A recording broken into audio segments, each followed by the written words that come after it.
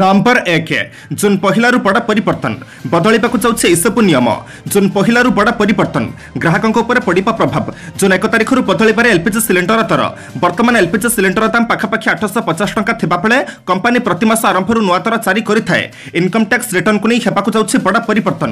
June ସାତ ତାରିଖରୁ ଆଇଟିଆଇର ନୂଆ ୱେବସାଇଟ୍ ଲଞ୍ଚ ହେବ। ତେବେ ଜୁନ୍ ଏକ ତାରିଖରୁ ଛଅ ତାରିଖ ପର୍ଯ୍ୟନ୍ତ ଆପଣ ବର୍ତ୍ତମାନର ୱେବସାଇଟ୍ର ବ୍ୟବହାର କରିପାରିବେ ନାହିଁ। କାନାରା ବ୍ୟାଙ୍କ ସହ ସିଣ୍ଡିକେଟ୍ ବ୍ୟାଙ୍କର ମିଶ୍ରଣ ପରେ ସିଣ୍ଡିକେଟ୍ ବ୍ୟାଙ୍କର ଗ୍ରାହକଙ୍କୁ ଜୁନ୍ ତିରିଶ ତାରିଖ ଭିତରେ ଆଇଏଫ୍ଏସ୍ସି କୋଡ୍ ଅପଡେଟ୍ କରିବା ପାଇଁ ନିର୍ଦ୍ଦେଶ ଦିଆଯାଇଛି। ଜୁନ୍ ଏକ ତାରିଖରୁ ଗୁଗୁଲର ଷ୍ଟୋରେଜ ପଲିସିରେ ପରିବର୍ତ୍ତନ ଲାଗୁ କରାଯିବ। ଏହାପରେ ଆପଣ ଗୁଗୁଲ ଫଟୋସ୍ରେ ଅନଲିମିଟେଡ୍ ଫଟୋ ଅପଲୋଡ୍ କରିପାରିବେ ନାହିଁ। ଗୁଗୁଲ ଅନୁଯାୟୀ ପ୍ରତି ଜିମେଲ୍ ବ୍ୟବହାରକାରୀଙ୍କୁ ପନ୍ଦର ଜିବିର ସ୍ପେସ୍ ମିଳିବ। ନମ୍ବର ଦୁଇ ବଦଳିବ ଶିକ୍ଷାବର୍ଷ କ୍ୟାଲେଣ୍ଡର ୟୁଜିସି ନିଷ୍ପତ୍ତିକୁ ଅପେକ୍ଷା କରିଛି ରାଜ୍ୟ। ଦେଶରେ କରୋନାର ଦ୍ୱିତୀୟ ଲହର ଜାରି ରହିଥିବାରୁ ପିଲାଙ୍କ ପାଠପଢ଼ାକୁ ଦୃଷ୍ଟିରେ ରଖି କେନ୍ଦ୍ର ଶିକ୍ଷା ମନ୍ତ୍ରଣାଳୟ ଶିକ୍ଷାବର୍ଷ କ୍ୟାଲେଣ୍ଡର ପରିବର୍ତ୍ତନ କରିବାକୁ ଯୋଜନା ପ୍ରସ୍ତୁତ କରିଛି।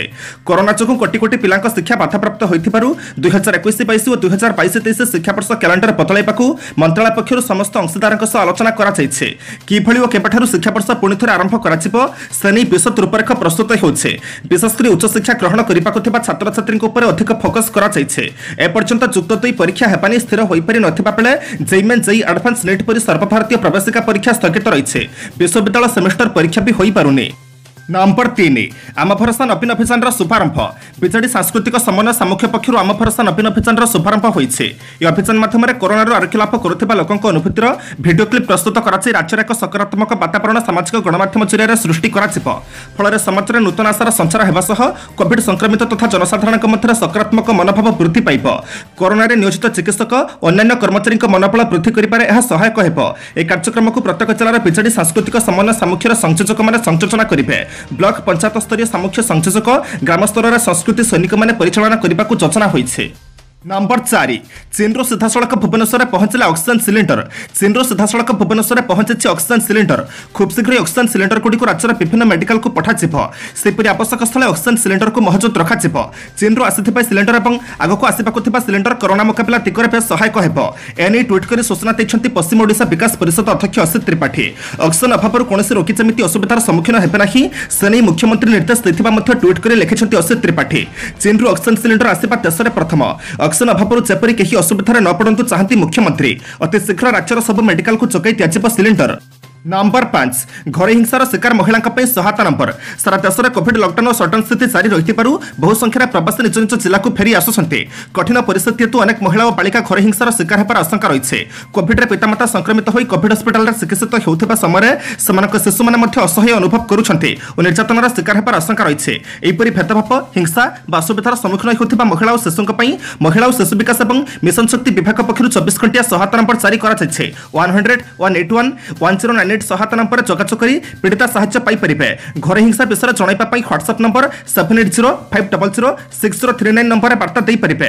ମହିଳା କମିଶନଙ୍କ ସହ ଯୋଗାଯୋଗ କରିବା ପାଇଁ WhatsApp number eight seven six three five four three zero one three ଜାରି କରାଯାଇଛି।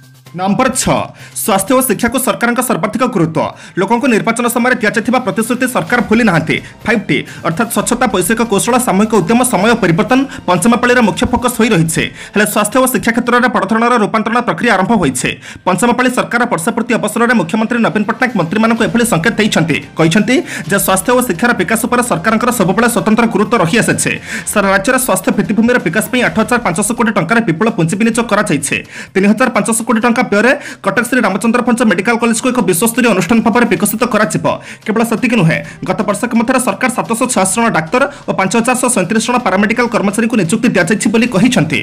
ନମ୍ବର ସାତ ଜୁନ୍ ଦଶ ଯାଏଁ ଛଅ ଛଡ଼ା ପାସେଞ୍ଜର ଟ୍ରେନ୍ ବାତିଲ କରୋନା ସଂକ୍ରମଣକୁ ଦୃଷ୍ଟିରେ ରଖି ଜୁନ୍ ଦଶ ପର୍ଯ୍ୟନ୍ତ ଟ୍ରେନ୍ ଚଳାଚଳ ବାତିଲ ଆଂଶିକ ବାତିଲ ଓ ନିର୍ଦ୍ଦିଷ୍ଟ ଦିନଗୁଡ଼ିକରେ ଚଳାଚଳ କରିବାକୁ ନିଷ୍ପତ୍ତି ନିଆଯାଇଛି ଜୁନ୍ ପହିଲାରୁ ଦଶ ତାରିଖ ମଧ୍ୟରେ ବାତିଲ ହେବାକୁ ଥିବା ସ୍ୱତନ୍ତ୍ର ଟ୍ରେନ୍ଗୁଡ଼ିକ ହେଲା Bhubaneswar Keonjhargarh Bhubaneswar zero eight four five six zero eight four double five Bhubaneswar Bhadrak Bhubaneswar zero eight four one two zero eight four double one Cuttack Bhadrak Cuttack zero eight four three eight zero eight four three seven Cuttack Paradip Cuttack zero eight four six one zero eight four six two Cuttack Bhadrak Cuttack zero eight four five four zero eight four five three Bhubaneswar Balangir Bhubaneswar Bhubaneswar zero eight four nine three zero eight four nine four train June পহিলার এগার মধ্যে বাতিল হওয়া train গুড়ি হল Visakhapatnam Raipur Visakhapatnam Bhubaneswar Jagdalpur Bhubaneswar Visakhapatnam Kirandul Visakhapatnam Visakhapatnam Kacheguda Visakhapatnam Bhubaneswar Pune Bhubaneswar Puri LTT Puri Bhubaneswar LTT Bhubaneswar Visakhapatnam Kadapa Visakhapatnam Visakhapatnam Lingampalli Visakhapatnam স্বতন্ত্র train number ଆଠ ଆସନ୍ତା ଚାରିଦିନ ରାଜ୍ୟରେ କାଳବୈଶାଖୀ ରାଜ୍ୟରେ ଏବେ ସକ୍ରିୟ ହେଉଛି କାଳବୈଶାଖୀ ବର୍ଷା ଏଣୁ ଆସନ୍ତା ଚାରିଦିନ ଧରି ରାଜ୍ୟରେ କାଳବୈଶାଖୀ ବର୍ଷା ହେବାର ସମ୍ଭାବନା ରହିଛି। କିନ୍ତୁ ଏହାଫଳରେ ରାଜ୍ୟର ତାପମାତ୍ରା କମିବାର କୌଣସି ସମ୍ଭାବନା ନାହିଁ। ଓଲଟା ଆସନ୍ତା ଦୁଇରୁ ତିନି ଦିନ ମଧ୍ୟରେ ରାଜ୍ୟର ତାପମାତ୍ରା ଆହୁରି ଦୁଇରୁ ତିନି ଡିଗ୍ରୀ ପର୍ଯ୍ୟନ୍ତ ବୃଦ୍ଧି ପାଇବ। ତେବେ ଆଜି ଅପରାହ୍ନରୁ ଚାରିଦିନ ପର୍ଯ୍ୟନ୍ତ ରାଜ୍ୟର ବିଭିନ୍ନ ସ୍ଥାନରେ ବର୍ଷା ହେବ। ଏଣୁ ଆସନ୍ତା ଚାରିଦିନ ପାଇଁ ବିଭିନ୍ନ ଜିଲ୍ଲାରେ ୟେଲୋ ୱାର୍ଣ୍ଣିଂ ଜାରି କରିଛି ଆଞ୍ଚଳିକ ପାଣିପାଗ ବିଜ୍ଞାନ କେନ୍ଦ୍ର। ଆଜି ରାଜ୍ୟର ଏଗାର ଜିଲ୍ଲାରେ ଖୁବ୍ ଜୋରରେ ପବନ ବହିବା ସହ କାଳବୈଶାଖୀ ବର୍ଷା ହେବ। ବିଶେଷ କରି ମାଲକାନଗିରି କୋରାପୁଟ ନବରଙ୍ଗପୁର କଳାହାଣ୍ଡି ରାୟଗଡ଼ା ଗଜପତି କେନ୍ଦୁଝର ମୟୂରଭଞ୍ଜ ବାଲେଶ୍ୱର ଭଦ୍ରକ ଓ ଯାଜପୁର ଆଦି ଜିଲ୍ଲାରେ କାଳବୈଶାଖୀ ବର୍ଷା ହେବ ଓ ପବନର ବେଗ ଘଣ୍ଟା ପ୍ରତି ତିରିଶରୁ ଚାଳିଶ କିଲୋମିଟର ରହିବ। ନମ୍ବର ନଅ ଅତ୍ୟାଧୁନିକ ନେତାଜୀ ବସ୍ ଟର୍ମିନାଲ ପାଇଁ ସମୀକ୍ଷା ବୈଠକ ଖାନନଗରଠାରେ ହେବାକୁ ଥିବା ଅତ୍ୟାଧୁନିକ ନେତାଜୀ ବସ୍ ଟର୍ମିନାଲ ପାଇଁ ଟେଣ୍ଡର ପ୍ରକ୍ରିୟା ଚୂଡ଼ାନ୍ତ ହୋଇସାରିଛି। ତାମିଲନାଡୁର ୟୁଆରସି କନଷ୍ଟ୍ରକ୍ସନ ପ୍ରାଇଭେଟ ଲିମିଟେଡ୍ ନାମକ ସଂସ୍ଥା ପଞ୍ଚଷଠି କୋଟି ଚଉଷଠି ଲକ୍ଷ ଟଙ୍କା ବ୍ୟୟପରାତରେ ଏହି ଅତ୍ୟାଧୁନିକ ବସ୍ ଟର୍ମିନାଲକୁ ନିର୍ମାଣ କରିବ। ଏଥିପାଇଁ ପ୍ରାଥମିକ ଭାବରେ ଡିଜାଇନ ପ୍ରସ୍ତୁତ ହୋଇଥିବା ବେଳେ ଡିଜାଇନରେ କିଛିଟା ପରିବର୍ତ୍ତନ କରିବା ପାଇଁ ପୂର୍ତ୍ତ ବିଭାଗ ସଚିବ ଡକ୍ଟର କିଶନ କୁମାରଙ୍କ ଅଧ୍ୟକ୍ଷତାରେ ଅନୁଷ୍ଠିତ ଉଚ୍ଚସ୍ତରୀୟ ସମୀକ୍ଷା ବୈଠକରେ ନିଷ୍ପତ୍ତି ଗ୍ରହଣ କରାଯାଇଛି। ଖୁବ୍ ଶୀଘ୍ର ଏହାର ଚୂଡ଼ାନ୍ତ ଡିଜାଇନ ପ୍ରସ୍ତୁତ କରି ରିପୋର୍ଟ ପ୍ରକାଶ ପାଇବା ସହ କାର୍ଯ୍ୟ ଆରମ୍ଭ କରାଯିବା ପରେ ବୈଠକରେ ନିଷ୍ପତ୍ତି ଗ୍ରହଣ କରାଯାଇଛି। ଉଚ୍ଚସ୍ତରୀୟ ବୈଠକରେ ସଚିବଙ୍କ ସମେତ ଓବିସିସିର ଏମ୍ଟି ଜେକେ ଦାସ କଟକ ଜିଲ୍ଲାପାଳ ଭବାନୀଶଙ୍କର ଇଞ୍ଜିନିୟର ପ୍ରତିବ୍ରତଙ୍କ ସମେତ କନଷ୍ଟ୍ରକ୍ସନ କମ୍ପାନୀର ଯନ୍ତ୍ରୀମାନେ ଉପସ୍ଥିତ ଥିଲେ। ନମ୍ବର ଦଶକୁ ଯିବା ପୂର୍ବରୁ ଆପଣମାନଙ୍କୁ ଅନୁରୋଧ ଭିଡ଼ିଓଟିକୁ ଶେଷ ପର୍ଯ୍ୟନ୍ତ ଦେଖନ୍ତୁ। କାରଣ ଭିଡ଼ିଓର ଶେଷରେ ରହିଛି ଆଜିର ରାଶିଫଳ। କିନ୍ତୁ ତା ପୂର୍ବରୁ ଭିଡ଼ିଓଟିକୁ ଲାଇକ୍ କରିଦିଅନ୍ତୁ କାରଣ ଆପଣଙ୍କର ଗୋଟେ ଛୋଟ ଲାଇକ୍ ଆମକୁ ନୂତନ ଭିଡ଼ିଓ ବନାଇବା ପାଇଁ ପ୍ରୋତ୍ସାହିତ କରିଥାଏ। ନମ୍ବର ଦଶ ମିଡିଆ ପ୍ରଚାରରେ ମୋଦି ଓ ନବୀନ ଏକ ନମ୍ବର ସୁର ରାଉତରାୟ ମୁଖ୍ୟମନ୍ତ୍ରୀ ନବୀନ ପଟ୍ଟନାୟକଙ୍କ ପଞ୍ଚମ ପାଳିରେ ଦୁଇ ବର୍ଷ ପୂରିଛି। ଏନେଇ ପ୍ରତିକ୍ରିୟା ରଖି କଂଗ୍ରେସ ବିଧାୟକ ସୁରେଶ କୁମାର ରାଉତରାୟ କହିଛନ୍ତି ଉଭୟ ପ୍ରଧାନମନ୍ତ୍ରୀ ନରେନ୍ଦ୍ର ମୋଦି ଓ ମୁଖ୍ୟମନ୍ତ୍ରୀ ନବୀନ ପଟ୍ଟନାୟକ ମିଡିଆ ପ୍ରଚାର ଏକ ନମ୍ବର ତାଙ୍କ ଭାଷାରେ ମୁଖ୍ୟମନ୍ତ୍ରୀ ଶାସନ କରିବାର ଏକୋଇଶ ବର୍ଷ ବିତିଲାଣି। ଗତ ଏକୋଇଶ ବର୍ଷ ଭିତରେ କେତୋଟି ଶିଳ୍ପ ରାଜ୍ୟରେ ପ୍ରତିଷ୍ଠା ହୋଇଛି। ହିରୋ ଓ ହିରୋଇନମାନଙ୍କୁ ଆଣି ଟଙ୍କା ବର୍ବାଦ କରିଛନ୍ତି। କେବଳ ଗୋଟିଏ ହକି ୱାର୍ଲଡ କପ୍ କରିଛନ୍ତି। ଏଯାଏଁ ଗରିବକୁ ଇନ୍ଦିରାବାସ ଦେଇପାରିଲେ ନାହିଁ ପିଇବା ପାଣି ନାହିଁ ଲାଇନ୍ ନାହିଁ କି ରାସ୍ତା ନାହିଁ। ପଞ୍ଚମ ପାଳିର ଦୁଇ ବର୍ଷରୁ ପ୍ରଥମ ବର୍ଷ ବିନା କାମରେ ଚାଲିଗଲା। ଦ୍ୱିତୀୟ ବର୍ଷ କୋଭିଡ୍ରେ ଚାଲିଯାଇଛି ବିଜେଡି ବିଜେପି ଭିତରେ କୁଣ୍ଠାକୁଣ୍ଠି। ପଶ୍ଚିମବଙ୍ଗ ମୁଖ୍ୟମନ୍ତ୍ରୀ ମମତା ବାନାର୍ଜୀ ସିଧାସଳଖ ପ୍ରଧାନମନ୍ତ୍ରୀଙ୍କୁ କୋଡ଼ିଏ ହଜାର କୋଟି ମାଗିଲେ। ନମ୍ବର ଏଗାର ଆଖି ବୁଝିଲେ ଆଉ ତେତିଶ ରାଜ୍ୟରେ କରୋନା ମୃତ୍ୟୁ ସତେଇଶହ ଡେଇଁଲା ରାଜ୍ୟରେ ଆଉ ତେତିଶ କରୋନା ଆକ୍ରାନ୍ତଙ୍କ ମୃତ୍ୟୁ ଘଟିଛି ସ୍ୱାସ୍ଥ୍ୟ ଓ ପରିବାର କଲ୍ୟାଣ ବିଭାଗ ପକ୍ଷରୁ ଏହି ସୂଚନା ଦିଆଯାଇଛି ଏହା ସହିତ ରାଜ୍ୟରେ କରୋନା ଜନିତ ମୃତ୍ୟୁ ସଂଖ୍ୟା ଦୁଇ ହଜାର ସାତଶହ ଉଣେଇଶକୁ ବୃଦ୍ଧି ପାଇଛି। ଏହି ତେତିଶ ମୃତକଙ୍କ ମଧ୍ୟରେ ଦଶ ଜଣ ମହିଳା ଅଛନ୍ତି। ଅନୁଗୁଳ ଜିଲ୍ଲାରେ ଜଣେ ଅଠର ବର୍ଷୀୟ ଯୁବତୀଙ୍କର କରୋନାରେ ମୃତ୍ୟୁ ଘଟିଛି। ସେହିପରି ତେତିଶ ମୃତକଙ୍କ ମଧ୍ୟରୁ ଏଗାର ଜଣଙ୍କର ଉଚ୍ଚ ରକ୍ତଚାପ ଡାଇବେଟିସ୍ ଓ କିଡନୀ ସମସ୍ୟା ଭଳି ଅନ୍ୟାନ୍ୟ ରୋଗ ମଧ୍ୟ ରହିଥିଲା। ପନ୍ଦରଟି ଜିଲ୍ଲାରୁ ତେତିଶ ମୃତ୍ୟୁ ଖବର ଆସିଥିବା ବେଳେ ଏଥିରେ ଅନୁଗୁଳ ଜିଲ୍ଲାରୁ ସର୍ବାଧିକ ପାଞ୍ଚ ଜଣ ଅଛନ୍ତି। ଆଜିକୁ ମିଶାଇ ଲଗାତାର ଚାରି ଦିନ ହେଲାଣି ଅନୁଗୁଳ ଜିଲ୍ଲାରୁ ସର୍ବାଧିକ କରୋନା ଆକ୍ରାନ୍ତଙ୍କ ମୃତ୍ୟୁ ଖବର ଆସୁଛି। ପୂର୍ବ ତିନି ଦିନ ବି ଏଠାରେ ପାଞ୍ଚ ଜଣ ଲେଖାଏଁ କରୋନା ଆକ୍ରାନ୍ତଙ୍କ ପ୍ରାଣ ହରାଇଥିବା ନେଇ ସୂଚନା ଆସିଥିଲା। ଏହା ସହିତ ଜିଲ୍ଲାରେ କରୋନା ଜନିତ ମୃତ୍ୟୁ ସଂଖ୍ୟା ଶହେ ଚାରିକୁ ବୃଦ୍ଧି ପାଇଛି। ବୌଦ୍ଧ କଳାହାଣ୍ଡି ନବରଙ୍ଗପୁର ଓ ସୁନ୍ଦରଗଡ଼ ଜିଲ୍ଲାରୁ ତିନି ଜଣ ଲେଖାଏଁ ପ୍ରାଣ ହରାଇଥିବା ବେଳେ କଟକ ଦେବଗଡ଼ ଗଜପତି କନ୍ଧମାଳ କେନ୍ଦୁଝର ଖୋର୍ଦ୍ଧା ଜିଲ୍ଲାରୁ ଦୁଇ ଜଣ ଲେଖାଏଁ କରୋନା ଆକ୍ରାନ୍ତଙ୍କ ମୃତ୍ୟୁ ଘଟିଛି। ନମ୍ବର ବାର କୁଳୁକୁଞ୍ଚା ନମୁନାରେ କୋଭିଡ୍ ପରୀକ୍ଷଣ ଅନୁମତି। କୋଭିଡ୍ ସଂକ୍ରାନ୍ତ ଗବେଷଣାରେ ଭାରତୀୟ ଭେଷଜ ଗବେଷଣା ପରିଷଦ ଅର୍ଥାତ୍ ଆଇସିଏମ୍ଆର୍ ଏକ ବଡ଼ ସଫଳତା ହାସଲ କରିଛି। ଏହା କୋଭିଡ୍ର ଆର୍ଟିପିସିଆର୍ ପରୀକ୍ଷଣ ପାଇଁ ଏପରି ଏକ ପଦ୍ଧତି ବିକଶିତ କରିଛି ଯେଉଁଥିରେ ତିନି ଘଣ୍ଟା ଭିତରେ ହିଁ ଫଳାଫଳ ବାହାରି ପାରିବ। ତେବେ ସବୁଠୁ ଗୁରୁତ୍ୱପୂର୍ଣ୍ଣ କଥା ହେଲା ଏଥିରେ ପରୀକ୍ଷଣ ନମୁନା ସ୍ୱରୂପ ନାକ ବା କଳାରୁ ଆଉ ଲାଳ ବା ସ୍ୱାବ ସଂଗ୍ରହ କରିବାର ଆବଶ୍ୟକତା ନାହିଁ। ତା ପରିବର୍ତ୍ତେ ଏକ ପରୀକ୍ଷା ନଳୀରେ ଥିବା ଅମ୍ଳୀୟ ଜଳକୁ ଜଣେ ପନ୍ଦର ସେକେଣ୍ଡ ଯାଏଁ ପାଟିରେ କୁଳୁକୁଳି କରି ଉକ୍ତ କୁଳୁକୁଞ୍ଚା ଜଳକୁ ହିଁ ନମୁନା ଭାବରେ ବ୍ୟବହାର କରାଯିବ। ଏହି ପ୍ରକ୍ରିୟାକୁ ଏକ ଉଲ୍ଲେଖନୀୟ ଆବିଷ୍କାର ଭାବରେ କେନ୍ଦ୍ର ସ୍ୱାସ୍ଥ୍ୟମନ୍ତ୍ରୀ ଡକ୍ଟର ହର୍ଷବର୍ଦ୍ଧନ ଅଭିହିତ କରିଛନ୍ତି। ଏହି ଲାଳମୁକ୍ତ ତଥା ପୀଡ଼ାରହିତ ପ୍ରକ୍ରିୟା କୋଭିଡ୍ ପରୀକ୍ଷଣର ମଡ଼ ପତଳାଇ ଦେବ ବୋଲି ସେ କହିଛନ୍ତି। କୁଳୁକୁଞ୍ଚା କରିବା ଏକ ସୁବିଧାଜନକ ଉପାୟ ହୋଇଥିବାରୁ ନମୁନା ସଂଗ୍ରହ ପାଇଁ ସ୍ୱତନ୍ତ୍ର ପ୍ରଶିକ୍ଷଣର ଆବଶ୍ୟକତା ନାହିଁ। ନମ୍ବର ତେର ମେହୁଲ ଚୋକ୍ସି ପ୍ରତ୍ୟାର୍ପଣ ସମ୍ଭାବନା ଡୋମିନାକରେ ଅବତରଣ କଲା ଦିଲ୍ଲୀରୁ ଯାଇଥିବା ବିମାନ। ପଳାତକ ହୀରା ବ୍ୟବସାୟୀ ମେହୁଲ ଚୋକ୍ସିଙ୍କୁ ଭାରତକୁ ପ୍ରତ୍ୟାର୍ପଣ କରାଯିବ ବୋଲି ଆଶା କରାଯାଉଥିବା ବେଳେ ଦିଲ୍ଲୀରୁ ଯାଇଥିବା ଗୋଟାଏ ବିମାନ ଡୋମିନାକରେ ଅବତରଣ କରିଥିବାର ଖବର ବିଶେଷ ସୂତ୍ରରୁ ମିଳିଛି। କତାର ଏକ୍ଜିକ୍ୟୁଟିଭ୍ର ଉକ୍ତ ବମ୍ବାର୍ଡିୟର ଗ୍ଲୋବାଲ ପାଞ୍ଚ ଚାର ବିମାନଟି ମେ ଅଠେଇଶ ତାରିଖ ଦିନ ଡୋମିନାକର ଡଗଲ ସାଲ୍ସ ବିମାନ ବନ୍ଦରରେ ଅବତରଣ କରିଥିବା କଥା କୁହାଯାଉଛି। ଟେଲ୍ ନମ୍ବର ଏଇ ସିସି ଥିପାଇଁ ବିମାନଟି ଦୋହାରୁ ଆସି ମେ ସତେଇଶ ତାରିଖ ଅପରାହ୍ନ ତିନିଟା ବାର ମିନିଟ୍ରେ ଦିଲ୍ଲୀର ଇନ୍ଦିରା ଗାନ୍ଧୀ ଆନ୍ତର୍ଜାତିକ ବିମାନ ବନ୍ଦରରେ ଅବତରଣ କରିଥିଲା। କିନ୍ତୁ ଏଥିରେ ଦିଲ୍ଲୀରୁ କି ଡୋମିନାକ ଯାତ୍ରା କରିଛନ୍ତି କିମ୍ବା କାହାକୁ ଆଣିବା ଲାଗି ପଠାଯାଇଛି ସେ କଥା ସ୍ପଷ୍ଟ ହୋଇନାହିଁ। ନମ୍ବର ଚଉଦ ଖାଦ୍ୟ ନଦୀ ସିଏମ୍ସି ପକ୍ଷରୁ ପାଞ୍ଚ ଲକ୍ଷ ଟଙ୍କାର ବିଲ୍। ବାତ୍ୟା ୟାସରେ ମହାନଗର ନିଗମ ପକ୍ଷରୁ ବାତ୍ୟା ଆଶ୍ରୟ କେନ୍ଦ୍ରରେ ରହୁଥିବା ଲୋକଙ୍କ ଖାଦ୍ୟ ବାବଦକୁ ପାଞ୍ଚ ଲକ୍ଷରୁ ଅଧିକ ଟଙ୍କା ଖର୍ଚ୍ଚ କରାଯାଇଥିବାର ବିଲ୍ ହୋଇଛି। ବାତ୍ୟା ଆଶ୍ରୟ କେନ୍ଦ୍ରଗୁଡ଼ିକରେ ଖାଦ୍ୟ ଦିଆଯାଉନଥିବାର ଅନେକ ଅଭିଯୋଗ ଆସିଥିଲା। ଏପରିକି ପୁଲିସ ଓ ବିଭିନ୍ନ ସାମାଜିକ ଅନୁଷ୍ଠାନ ଖାଦ୍ୟ ବାଣ୍ଟୁଥିବାର ଦେଖିବାକୁ ମିଳିଥିଲା। ଏଭଳି ସ୍ଥିତିରେ ସିଏମ୍ସି ପକ୍ଷରୁ ପଚିଶ ଓ ଛବିଶ ତାରିଖରେ ମୋଟ କୋଡ଼ିଏ ହଜାର ଦୁଇଶହ ପଚାଶଟି ମଧ୍ୟାହ୍ନ ଓ ରାତ୍ର ଭୋଜନ ଦିଆଯିବା ବାବଦରେ ପାଞ୍ଚ ଲକ୍ଷ ଚବିଶ ହଜାର ଦୁଇଶହ ପଚାଶ ଟଙ୍କା ଖର୍ଚ୍ଚର ବିଲ୍ ପ୍ରସ୍ତୁତ ହୋଇଛି। ଲୋକଙ୍କୁ ଖାଦ୍ୟ ନଦୀ ଏତେ ଟଙ୍କାର ବିଲ୍ କରିବା ପଛରେ ଟଙ୍କା ହରିଲୁଟ କରିବାର ମସୁଧା ହୋଇଥିବାର ଅଭିଯୋଗ ହୋଇଛି ମହାନଗର ନିଗମ ପକ୍ଷରୁ ୟାସ୍ ବାତ୍ୟାକୁ ଦେଖି ସିଏମ୍ସିର ତଳିଆ ଅଞ୍ଚଳର ଲୋକଙ୍କ ପାଇଁ ପଚାଶଟି ଆଶ୍ରୟ କେନ୍ଦ୍ର କରାଯାଇଥିଲା ଯେଉଁଥିରେ ଗତ ପଚିଶ ଓ ଛବିଶ ତାରିଖରେ ଲୋକଙ୍କୁ ରଖାଯାଇଥିଲା। ସେମାନଙ୍କ ରଥାଖାଦ୍ୟ ଦେବା ପାଇଁ ତିନୋଟି ସ୍ୱୟଂସହାୟକ ଗୋଷ୍ଠୀକୁ ନିୟୋଜିତ କରାଯାଇଥିଲା। ନମ୍ବର ପନ୍ଦର କୋଭିଡ ମୃତ୍ୟୁର ଅଡ଼ଚାଳିଶ ଘଣ୍ଟା ଭିତରେ ସମୀକ୍ଷା ନିର୍ଦ୍ଦେଶ। ରାଜ୍ୟରେ ହେଉଥିବା କୋଭିଡ ମୃତ୍ୟୁର ଅଡ଼ଚାଳିଶ ଘଣ୍ଟା ଭିତରେ ଡେଥ୍ ଡେଟ୍ କରିବା ଲାଗି ସ୍ୱାସ୍ଥ୍ୟ ବିଭାଗ ପକ୍ଷରୁ ନିର୍ଦ୍ଦେଶ ଦିଆଯାଇଛି। ଜିଲ୍ଲାସ୍ତରୀୟ କମିଟି ଜିଲ୍ଲାସ୍ତରରେ କାର୍ଯ୍ୟକ୍ଷମ ଥିବା ସରକାରୀ ଓ ଘରୋଇ ହସ୍ପିଟାଲରେ କୋଭିଡ ପଜିଟିଭ୍ ସନ୍ଦିଗ୍ଧ ବ୍ୟକ୍ତିଙ୍କ ସମ୍ପୂର୍ଣ୍ଣ ମେଡିକାଲ ରେକର୍ଡ ଯାଞ୍ଚ କରିବା ସହିତ କିଭଳି ଅଧିକରୁ ଅଧିକ ଜୀବନ ରକ୍ଷା ହୋଇପାରିବ ତା ଉପରେ ଗୁରୁତ୍ୱ ଦେବାକୁ କୁହାଯାଇଛି। ଗତବର୍ଷ ଅକ୍ଟୋବର ଦଶ ତାରିଖରେ କୋଭିଡ ରୋଗୀଙ୍କ ଚିକିତ୍ସା ମୃତ୍ୟୁର ଅଡିଟ୍ କରିବା ଲାଗି ଜିଲ୍ଲାସ୍ତରୀୟ କମିଟି ଗଠନ କରାଯାଇଥିଲା। ଏହି କମିଟିକୁ ପୁଣି ଥରେ କାର୍ଯ୍ୟକ୍ଷମ କରାଯାଇଛି। ସ୍ୱାସ୍ଥ୍ୟ ବିଭାଗ ପକ୍ଷରୁ ସବୁ ଜିଲ୍ଲାପାଳ ଓ ସିଡିଏମ୍କୁ ଚିଠି ଜାରି ହୋଇଛି। ପୂର୍ବରୁ ଜାରି ହୋଇଥିବା ଚିଠିରେ କୋଭିଡ ରୋଗୀଙ୍କୁ ଠିକ୍ ସମୟରେ ଓ ଉତ୍ତମ ଚିକିତ୍ସା ଦେବା ଉପରେ ଗୁରୁତ୍ୱ ଦିଆଯାଇଛି କୋଭିଡ ବ୍ୟବସ୍ଥାରେ ରୋଗୀଙ୍କୁ ମିଳୁଥିବା ସେବା ମୃତ୍ୟୁ ସମ୍ପର୍କରେ ଜିଲ୍ଲାସ୍ତରୀୟ କମିଟି ଅଡିଟ୍ କରିବାକୁ ନିର୍ଦ୍ଦେଶ ଦିଆଯାଇଥିଲା। ନମ୍ବର ଷୋହଳ। ଅଯଥା କଥା ଫଳରେ କୋଭିଡ ମୁକାବିଲା କରି ହେବ ନାହିଁ। ପ୍ରଧାନମନ୍ତ୍ରୀ ନରେନ୍ଦ୍ର ମୋଦିଙ୍କ ମାସିକ ବେତାର କାର୍ଯ୍ୟକ୍ରମ ମନ୍ କି ବାତ୍କୁ ସମାଲୋଚନା କରି ଆଜି କଂଗ୍ରେସ ନେତା ରାହୁଲ ଗାନ୍ଧୀ କହିଛନ୍ତି ଯେ ମାସକୁ ଥରେ ହେଉଥିବା ଅଯଥା କଥା ଫଳରେ ଦେଶ କୋଭିଡ ନାଇଣ୍ଟିନ୍ ମହାମାରୀକୁ ମୁକାବିଲା କରିପାରିବ ନାହିଁ। ହିନ୍ଦୀରେ ଟ୍ୱିଟ୍ କରି କଂଗ୍ରେସ ନେତା ରାହୁଲ କହିଛନ୍ତି ମାସକୁ ଥରେ ଅଯଥା କଥା ନୁହେଁ। କୋଭିଡ ନାଇଣ୍ଟିନ୍ର ମୁକାବିଲା କରିବା ଲାଗି ସମୁଚିତ ଲକ୍ଷ୍ୟ ନୀତି ଓ ପ୍ରତିବଦ୍ଧତା ଆବଶ୍ୟକ। ରବିବାର ପ୍ରଧାନମନ୍ତ୍ରୀ ନରେନ୍ଦ୍ର ମୋଦି ଜାତୀୟ ଉଦ୍ଦେଶ୍ୟରେ ମାସିକ ରେଡିଓ ଉଦ୍ବୋଧନ ମନ୍ କି ବାତ୍ର ସତସ୍ତରୀତମ ସଂସ୍କରଣରେ ଆଲୋଚନା ପାଇଁ ଦେଶ ଚଳାଇଥିବା ଉଦ୍ୟମ ଓ ପୂର୍ବ ଭାରତୀୟ ରାଜ୍ୟର ବାତ୍ୟା ଭଳି ପ୍ରାକୃତିକ ବିପର୍ଯ୍ୟୟ ପ୍ରସଙ୍ଗ ଉତ୍ଥାପନ କରିଥିଲେ। ନମ୍ବର ସତର ସତୁରି ବର୍ଷ ବନାମ ସାତ ବର୍ଷ। ସାଟେଲାଇଟ୍ରୁ ସଡ଼କ। ସବୁଥିରେ ପଡ଼ିଛି ଦକ୍ଷତା। ରବିବାର ସରକାର ତୃତୀୟ ପାଳିର ତୃତୀୟ ବର୍ଷ।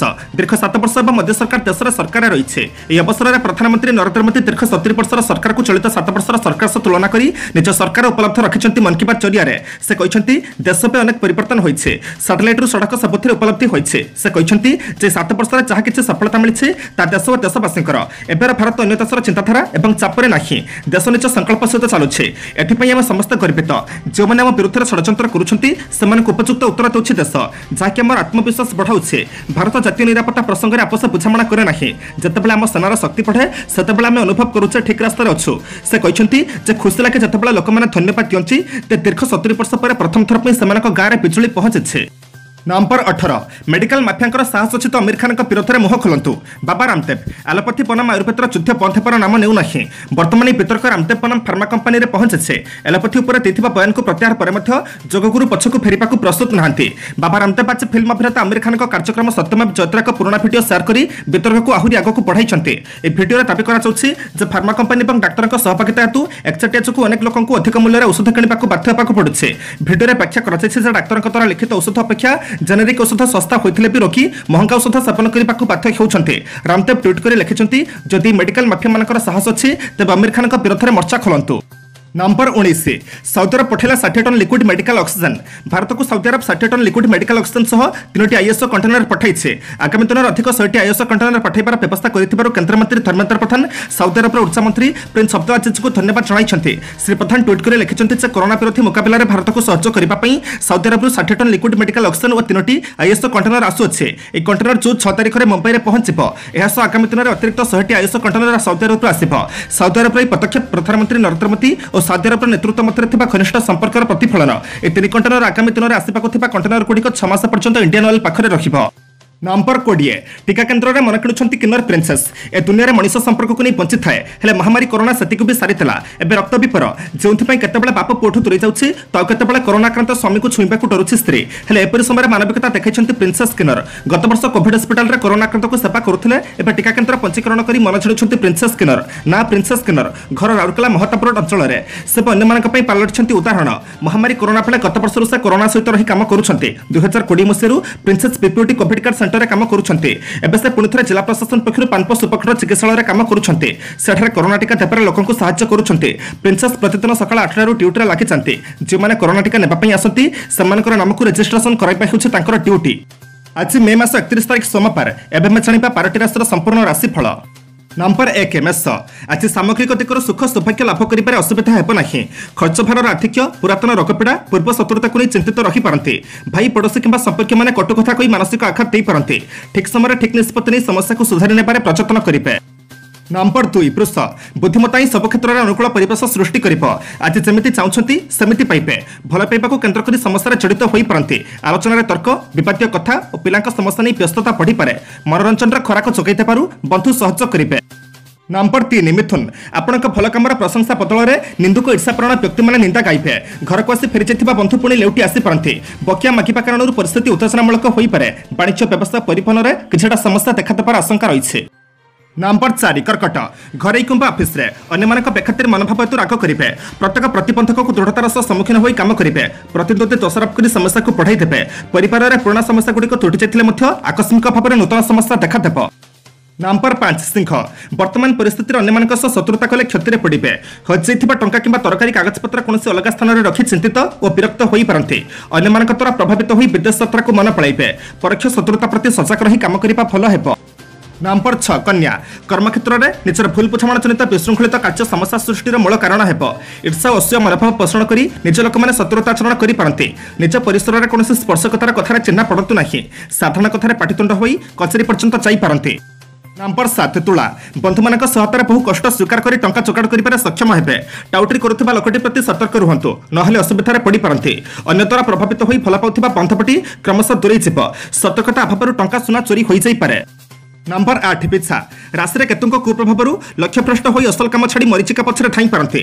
କୌଣସି ବନ୍ଧୁଙ୍କ ମିଥ୍ୟା ପ୍ରତିଶ୍ରୁତିରେ ଫଳିଗଲେ ତା ପାରିବାରିକ ଜୀବନରେ ପ୍ରତିକୂଳ ପ୍ରଭାବ ପକାଇବ।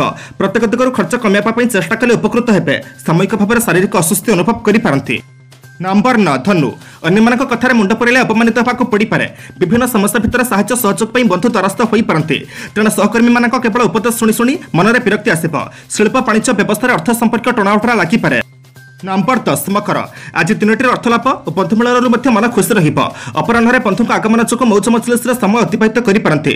କର୍ମକ୍ଷେତ୍ରରେ ଖଳ ଲୋକମାନଙ୍କ କୃତ ଅପମାନଜନକ ସ୍ଥିତିରୁ ସହସା ରକ୍ଷା ପାଇବେ। କିନ୍ତୁ ଧନିଷ୍ଠ ନକ୍ଷତ୍ର ଅନ୍ୟମନସ୍କ ହେତୁ କୌଣସି ଭୁଲ କାମ କରି ଅନୁତପ୍ତ ହେବେ। ନମ୍ବର ଏଗାର କୁମ୍ଭ। କାର୍ଯ୍ୟଶୀଳ ସକାଶେ ଅନ୍ୟର ସାହାଯ୍ୟ ନେବାକୁ ବାଧ୍ୟ ହେବେ। ପାରିବାରିକ ସ୍ଥିତି ଶାନ୍ତ ରହିବ କୌଣସି କ୍ଷେତ୍ରରେ ଅଧୈର୍ଯ୍ୟ ହୁଅନ୍ତୁ ନାହିଁ। ବନ୍ଧୁଙ୍କ ସହାନୁଭୂତି ନିଶ୍ଚୟ ଲାଭ କରିବେ। ଈର୍ଷାପରଣ ବ୍ୟକ୍ତିମାନେ ପ୍ରତିଷ୍ଠା ପ୍ରଶଂସାକୁ ସହି ନପାରି ମନରେ ଆଘାତ ହେବା ଭଳି ମନ୍ତବ୍ୟ ଦେଇପାରନ୍ତି। ନମ୍ବର ବାର ମିନ। ଅତୀତ ଘଟଣାକୁ ଯେତେ ଭାବିବେ ସେତେ ମନ ବିଷାକ୍ତ ଲାଗିବ। ଫାଇଲ କାମ ବୃଦ୍ଧି ପାଇବା କାରଣରୁ ଘର କଥା ବୁଝିବା ପାଇଁ ସମୟ ପାଇବେ ନାହିଁ। ନୂତନ କାର୍ଯ୍ୟରେ ହାତ ଦେବାକୁ ସ୍ଥିର କରି କୃତକାର୍ଯ୍ୟ ହୋଇପାରନ୍ତି। ପରିବାରର ଖର୍ଚ୍ଚ ପରିମାଣ ବୃଦ୍ଧି ଚିନ୍ତାଜନକ ସ୍ଥିତି ସୃଷ୍ଟି କରିପାରେ।